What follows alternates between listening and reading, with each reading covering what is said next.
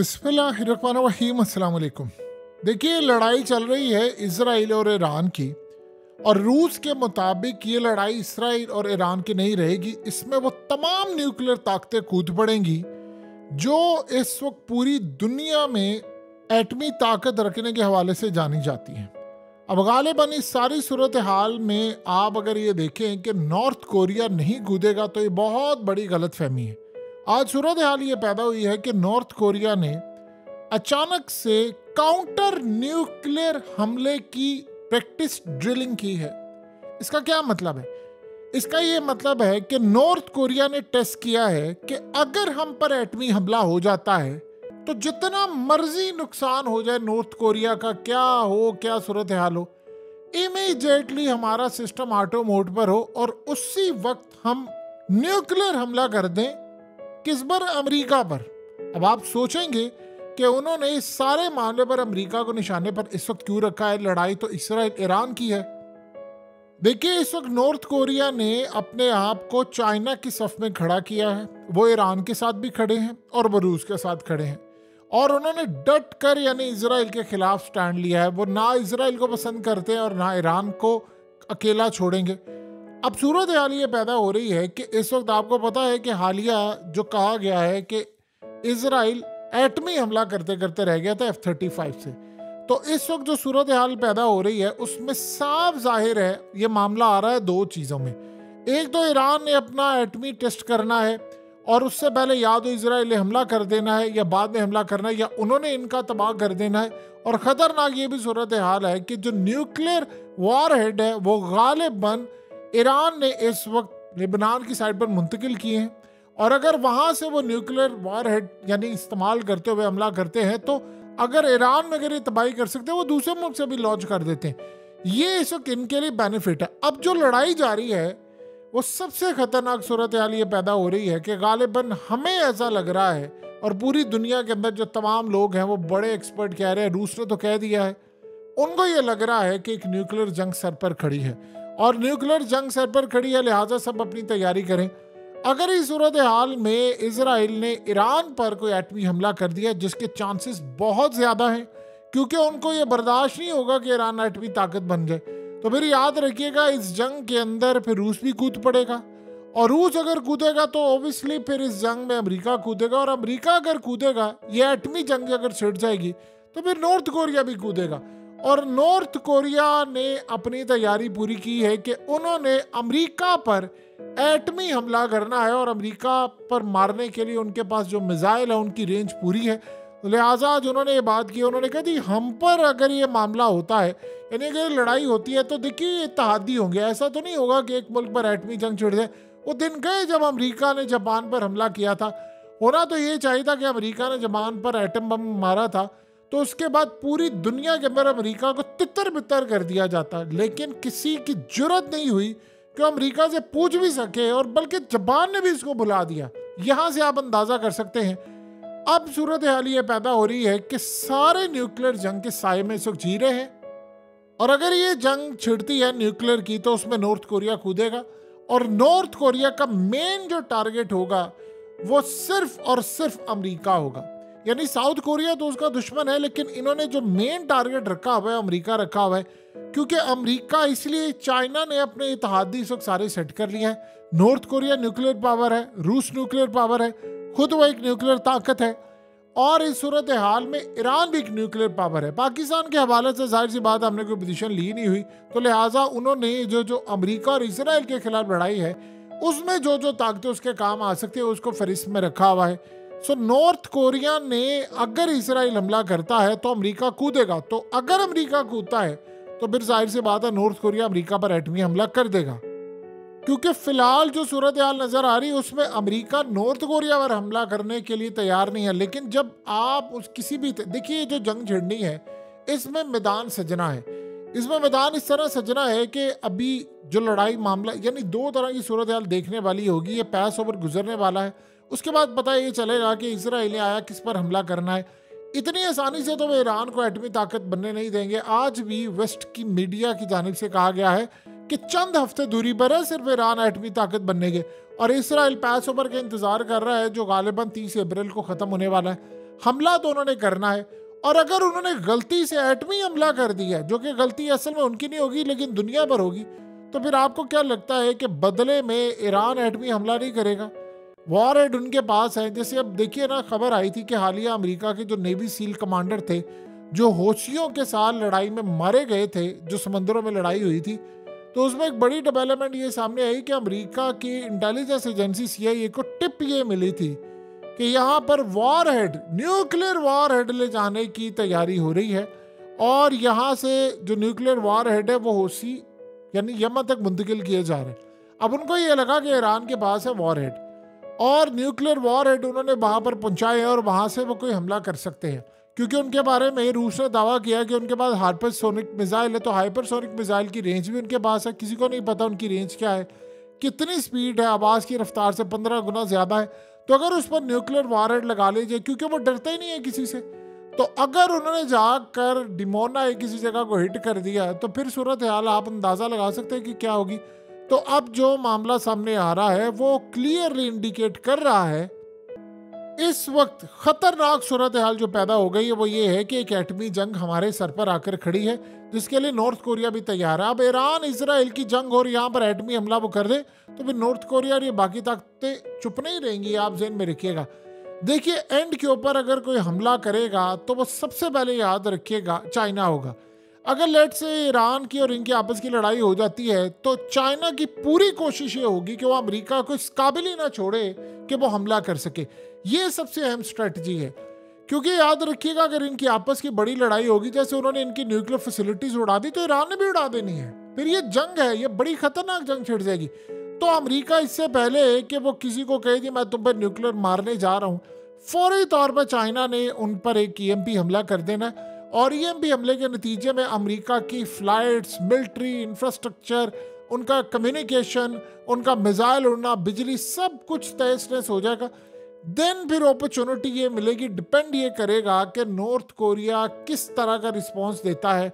और वहाँ पर उन्होंने, सबसे पहले याद रखिएगा चाइना ने अपने इतिहादियों को कहना इस्तेमाल करना है। जैसे अमेरिका अपने इतिहादियों को इस्तेमाल करेगा। देखिए, इस सारे मामले पर फ्रांस ने भी कूदना है अभी। बरतानिया ने भी कूदना है। और रूस के साथ आप सोचे बेला रूस में तो उसने ऑलरेडी डिप्लॉय किया हुए अपने न्यूक्लियर मिसाइल तो आज उन्होंने काउंटर अटैक की जो तैयारी की है, वो बड़ा इंडिकेट कर दिया इस अहम तरीन मौके पर जब ईरान और इनकी लड़ाई आपस की चल रही है। तो नॉर्थ कोरिया का काउंटर असल में चेक करने का मतलब ये है कि वो क्लियरली इस बात का खदशा महसूस कर रहे हैं कि एक न्यूक्लियर जंग सर पर खड़ी हुई है।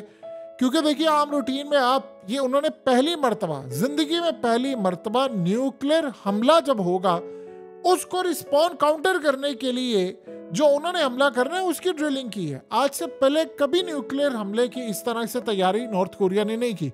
वो हमेशा से मिसाइल बना लिया, फलाने का टेस्ट कर लिया, उसका टेस्ट कर लिया, इसका टेस्ट कर लिया, वो यहाँ तक ही रहे। लेकिन पहली मरतबा अगर वो ये काम करने के लिए गए हैं तो ज़ाहिर सी बात है, उनको ये बात का बिल्कुल खदशा नहीं, उनको अंदाज़ा है कि न्यूक्लियर जंग किसी भी जगह पर छिड़ सकती है और इस दफ़ा याद रहे, न्यूक्लियर जंग अगर छिड़ती है तो ऐसा नहीं है कि वो जापान की तरह अमेरिका हमला कर देगा, फिर दूसरे ममालिक तहादी उन पर हमला करेंगे और उसके बाद ये भी सारा काम होगा। फिर तो ज़ाहिर सी बात है कि बहुत सारे लोग मारे जाएँगे, वहाँ पर लड़ाई शुरू हो जाएगी। फिर ये भी नहीं देखा जाएगा कि इसराइल की बाउंड्रीज क्या है, इसराइल कहाँ तक जा रहा है, क्या मामला हो रहा है, सारे भी लड़ाई में कूद पड़ेंगे। अगले कुछ अरसे के अंदर हालात ये बता रहे हैं कि दुनिया एक बड़ी तबाही फेस करने के लिए जा रही है। और याद रहे कि हालिया नॉर्थ कोरिया ने न्यूक्लियर सबमरीन का ऐसा टेस्ट किया था, जिसमें उन्होंने बताया है कि अमेरिका का अगर एयरक्राफ्ट कैरियर आता है, न्यूक्लियर सबमरीन, यानी जो एयरक्राफ्ट कैरियर उसका आता है या जो भी, हम उसको समंदरों में तबाह करने की सलाहियत रखते हैं। अमेरिका ने असल में पिछले काफ़ी अरसे से एक चीज़ देखी है कि उसके जो इतिहादी हैं, अभी बाहिर आपको ये नज़र आता है कि जो उनकी ताकत बड़ी है, उनकी इकॉनमी बड़ी है लेकिन शायद वो लड़ाई में लड़ने के काबिल नहीं है। अगर ईरान ने इसराइल का एटमी प्रोग्राम उड़ाना होता तो वो जो हमला किया है, उन्होंने उससे 20 किलोमीटर दूरी पर था डिमोना तो वो उसको उड़ा सकते थे।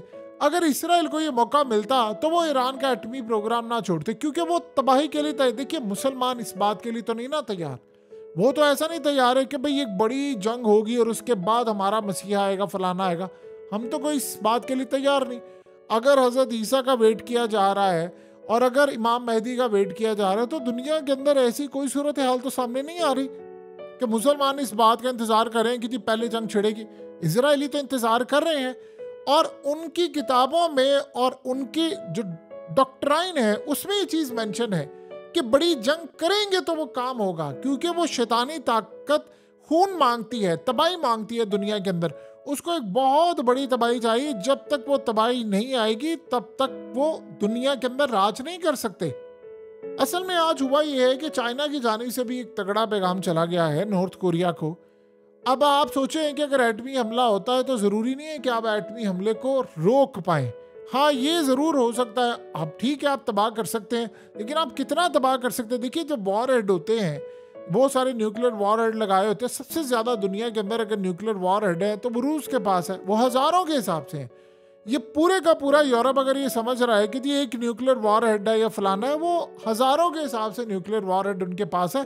अगर वो थोड़ा थोड़ा करके भी करे, पूरा यूरोप सफ़ा इस से मिट जाए, अमरीका मिट जाए, और बहुत सारी कंट्रीज़ मिट जाइए जो आजर भाईजान ये फलाने की कोशिश कर रहे हैं कि हम इसराइल को स्पेस देंगे। आप यकीन कीजिए कि रूस वहाँ पर भी हमला कर दे।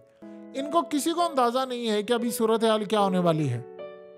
अगर इसराइल को ज़रा सा भी अंदाज़ा होता कि जंग के मामला इस लेवल पर चले जाएँगे तो बताइए क्या वो इस जंग में कूदते? जो पूरी दुनिया को ये बता रहे हैं कि हम सिर्फ़ 10 से 12 दिन में आपको क्लियर करके देंगे, वो 200 दिन के बाद आज आप सोच लें कि वेस्ट के मीडिया ने और अमेरिकी मीडिया ने कहा है कि हमास को ख़त्म करना अभी तो बहुत दूर है। यानी अगर ये कोई समझ रहा है कि हमास को उन्होंने पीछे धकेल दिया है वो बिल्कुल वही स्ट्रेटजी हो गई है अफ़गानिस्तान वाली कि आपने उनको पीछे धकेल दिया कुछ अरसे के लिए लेकिन वो हारे नहीं है। और आज देख लिया हमास की जानब से उन्होंने तो बड़ा क्लियरली बात कह दी है कि ईरान ने जो हमला किया है वो बहुत बड़ी विक्ट्री है। वो तो इसको सेलिब्रेट करें। सो so, अगले मरहले के अंदर जो सूरत हाल है वो सिर्फ़ और सिर्फ़ न्यूक्लियर के मामला काफ़ी हद तक ख़राब है। देखिए अगर बार बार कोई कंट्री कह रही है जैसे रूस ने कल दोबारा कहा है कि खदशा भी ये पैदा हुआ है कि जितनी न्यूक्लियर ताकतें हैं, इनको इस वक्त एक डायरेक्शन में लाकर खड़ा कर दिया गया है कि आपस में एक दूसरे पर एटमी हमला कर दें और ये लड़ाई कर लें। अगर रूस ने ये बात की है तो उसके बाद नॉर्थ कोरिया का अचानक से ये टेस्ट करना बड़ा इंडिकेट कर रहा है कि सारे ममालिक इस जंग में कूदने के लिए तैयार है। देखिए, नॉर्थ कोरिया इस वक्त मिसाइल दे रहा है रूस को। चाइना इस वक्त ड्रोज ले रहा है ईरान से। ईरान मिसाइल दे रहा है इस वक्त रूस को। तो रूस इस वक्त पूरी तरह, जब आपने उसके ऊपर इतनी पाबंदी आयद कर दी है, रूस के ऊपर इतनी पाबंदी आयद कर दी है कि दुनिया के अंदर अब कोई पाबंदियाँ उसका कुछ नहीं बिगाड़ सकती तो वो क्लियरली ले रहा है कि ठीक है, अब उड़ा लो जो करना है। देखिए, जो पेमेंट गेटवे सिस्टम है, वो तो सारा उन्होंने चाइना का ले लिया है। रही बात दुनिया की, उनको पाबंदियों की, उनको कतन कोई परवाह नहीं अगर पाबंदियाँ इनको तबाह करना होती तो देखिए, एक बात जहन में रखिएगा कि रूस ने दुनिया का जो ऑर्डर है, उसको तब्दील कर दिया है। उन्होंने दुनिया को बता दिया है कि अमेरिका या उसके इतिहादियों की जहाँ पर चलेगी, वहाँ पर दुनिया नहीं चल सकती। हमारा एक अपना ऑर्डर है, हम अपने हिसाब से चलते हैं। हम नॉर्थ कोरिया से वो मिज़ाइल ले रहे हैं ईरान से वो मिज़ाइल ले रहे हैं और पाबंदियों का मामला हो रहा है। ना ईरान की पाबंदियाँ उस पर लगी, कुछ बिगाड़ सकी, ना नॉर्थ कोरिया पर कुछ बिगाड़ सकी। और अब सबसे बड़ी बात यह है कि यही पाबंदियाँ अब रूस का भी कुछ नहीं बिगाड़ी। और अब चाइना की तीन कंपनीज़ जो हैं, जो पाकिस्तान के बैलिस्टिक मिसाइल के लिए चीज़ें देती हैं, उन पर भी पाबंदियाँ तो जब चाइना पर भी आपने फैसला कर लिया है कि आपने पाबंदियाँ लगानी, असल में चाइना पर इस वक्त बहुत ज़्यादा पाबंदियाँ क्यों नहीं लगा सकते? इनके पास अभी तक अल्टरनेट नहीं है। भारत तैयार हो रहा है कि वो एक्सपोर्ट करता है, माल और चीज़ें दे रहा है, लेकिन अल्टरनेट नहीं है दुनिया के पास। आज आप चाइना पर पाबंदियाँ आयद कर दें, बहुत बड़ी तादाद के अंदर तो सबसे पहली जो मौत होगी वो तो अमेरिका की होगी, वो तो इसराइल की होगी और यूरोप की होगी। चाइना अगर दुनिया को माल देना बंद कर देता है तो ये सारे सड़कों पर आ जाएँगे। इनके पास अगले 15 से 20 साल तक कोई दूर दूर तक प्लान नहीं है कि वो चाइना का अल्टरनेट कैसे बनाए। यही वजह है कि चाइना की स्ट्रेटजी बड़ी क्लियर रही है कि वो माल बेचता रहा, उसने कंस्ट्रक्शन पर बिलीव किया, वो इकोनॉमी बेहतर करता रहा, पैसा बनाता रहा बनाता रहा इन्फ्लुएंस उसका बढ़ गया पूरी दुनिया के अंदर। अब जब वो टेक्नोलॉजी में इतना आगे चला गया है तो वो नॉर्थ कोरिया को भी सपोर्ट करता है। अमेरिका के पास कोई सबूत नहीं है कि नॉर्थ कोरिया को चाइना ने टेक्नोलॉजी दी है, या ईरान को दी है, या रूस को दी है। तो इस सारे मामले पर चाइना ने अपनी पोजीशन इतनी क्लियर रखी है, बल्कि कल जो सूरत हाल पैदा हुई है कि एफबीआई के डायरेक्टर ने कहा है कि हमारे मुल्क पर इतना खतरनाक हमला हुआ है कि 600 अरब डॉलर तक हमें लॉस हुआ है कि इन्होंने तमाम की तमाम फाइल्स चाइना ने चोरी कर ली हैं। चाइना हमारा डाटा भी ले गया है। हमारा सारा रिकॉर्ड भी ले गया है, जितना सब कुछ था वो ले गया। और उन्होंने कहा कि उसके बदले में जो हमारी कंपनीज़ हैं, उनको 600 अरब डॉलर का नुकसान हुआ है। देखिए 600 अरब डॉलर बहुत बड़ी रकम होती है।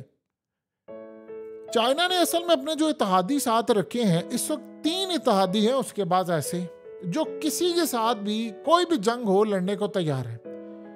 अब जेन में रखिएगा, पाकिस्तान भी उसका इतिहादी है, लेकिन पाकिस्तान कल को ऐसी सूरत हाल तो नहीं होगी जी, इसराइल के खिलाफ हम लड़ने को तैयार हो जाएँगे। हम अचानक से अमेरिका के खिलाफ लड़ने को तैयार हो जाएँगे। ईरान लड़ सकता है, रूस लड़ सकता है, नॉर्थ कोरिया लड़ सकता है। और आप देखें कि अगर तीनों को देखें तो नॉर्थ कोरिया के ऊपर दुनिया की पाबंदियाँ, लेकिन वो अपना सिस्टम चला रहे हैं ना। ईरान के ऊपर पाबंदियाँ हैं, लेकिन वो अपना सिस्टम चला रहे हो दुनिया उसकी काफ़ी हद तक मोहताज है। अगर आज ईरान पर पाबंदियाँ हट जाएँ तो तेल क्या क्या उनकी करेंसी क्या उनके मामला वो आसमान पर चले जाएँगे और दुनिया की कोई ताकत उनको आगे जाने से नहीं रोक सकती। अब मिडल ईस्ट की जो सूरत हाल है, ईरान ने जब से अपने मिसाइल प्रोग्राम को आगे लेकर गया, वो इतनी बड़ी ताकत बन गया है मिडल ईस्ट के अंदर कि अब उनको कोई रोक नहीं सकता। अब इसराइल अगर न्यूक्लियर हमला करता है या कोई भी चीज़ करता है तो याद रखिएगा, फिर ये खाली एक कंट्री तक मामला नहीं रहेगा। इसमें रूस से लेकर नॉर्थ कोरिया से लेकर भी सारे तैयार हो जाएँगे। फिर वो इस बात के लिए भी तैयार हैं कि अगर हम पर हमला होता है तो हमने काउंटर कैसे करना है और फिर बदले में हमने हमला कैसे करना है, इसका आप अंदाज़ा लगा सकते हैं कि आज उन्होंने पहली मरतब जो ड्रिलिंग की है, वो बता रही है कि एक चीज़ कितनी बड़ी लड़ाई सर पर खड़ी है।